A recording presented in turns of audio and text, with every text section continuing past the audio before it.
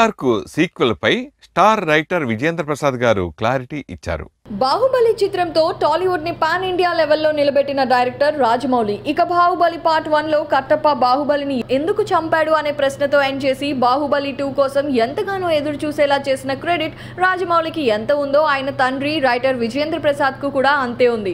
Fantasy చరిత్ర కథలను రాయడంలో విజయేంద్ర ప్రసాద్ దిట్ట. ఇక ఇటీవల విడుదలై ఘన విజయం సాధించిన ట్రిపుల్ ఆర్ కథ కూడా ఆయన కలం నుండి జారువారిందే. అల్లూరి సీతారామరాజు కొమరం భీం పాత్రలను ఊహించుకొని వారి పోరాట ప్రతిభను తట్టిలేపి ఒక అద్భుతానికి ఆజ్యం పోశారు.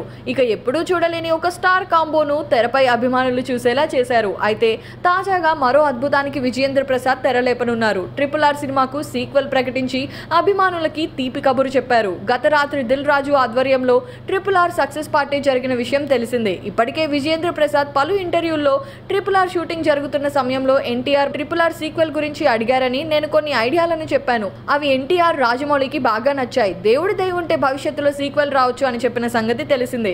ఇక తాజాగా ఈ వేడుకలో సీక్వెల్ ఉండనున్నది అని త్వరలోనే కథను సిద్ధం చేస్తున్నట్లు తెలిపారు. బాహుబలిలానే ఈ సినిమా కూడా ఫ్రాంచైజీగా ఉండనున్నది అని తెలిపారు. ఇక ఈ వార్త తెలియడంతో అభిమానుల ఆనందానికి అవధులు లేవని తెలుస్తోంది. మరి ఈ సినిమా ఎప్పుడు మొదలవుతుందో చూడు